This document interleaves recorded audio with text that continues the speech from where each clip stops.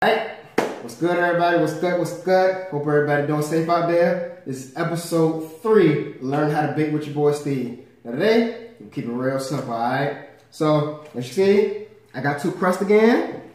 I got everything already mixed up this go around. I think y'all know what it is. But just in case y'all don't, one teaspoon of vanilla extract.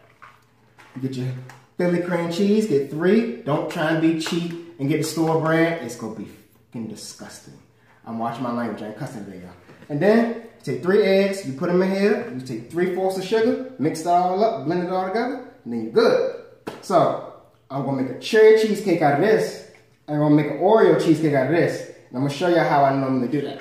So, I'm gonna put this in here, fill this up, a little bit in here, enough to cover the bottom. Now y'all probably like, what the hell is he doing? I'm gonna explain that to y'all in a second after I'm done mixing all this. So I usually just cover the bottom layer. And what I do, when I make Oreo cheesecake, I like to make sure everybody get a good bang for their buck. I take Oreo, I put one right down here in the middle, and then I put Oreos around inside. Now you can use half for the whole thing, just go around. I'm gonna use the whole thing. So now, you see you got Oreos in the middle. Try to make sure you get your money's worth whenever I make some for people. And then, put some more in there.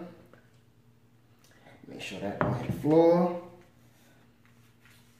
I'm gonna stir this over top of it. And you won't even know the Oreos in the middle. I'm gonna add a little bit more cheesecake right here. So now, voila, you don't need nothing.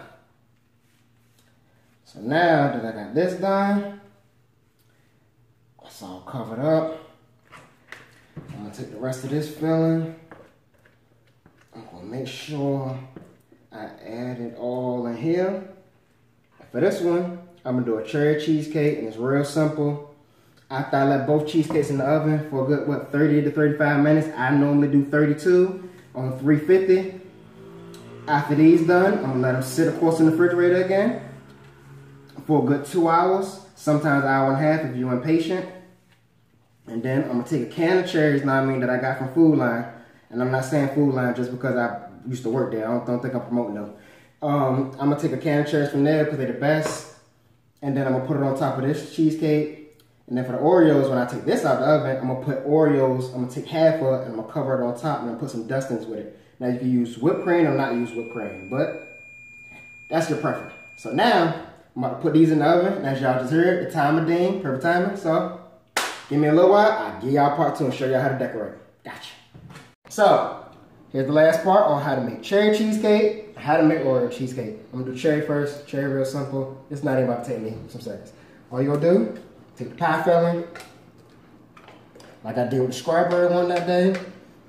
It's already cherries in here, but if you're real fancy and you big money like that baller, go get you some real cherries. Put it up there.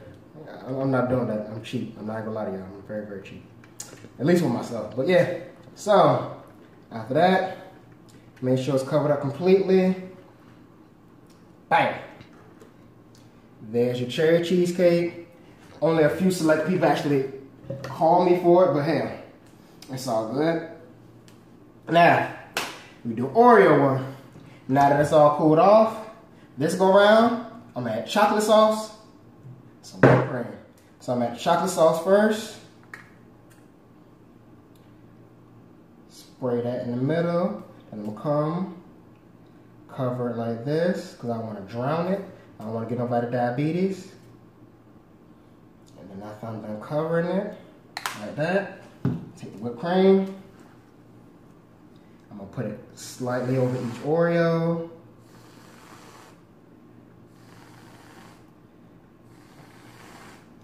And as I go along, there we go. I'm gonna put this in the middle right there. And then again, I'm gonna take Oreo, I'm breaking it in half.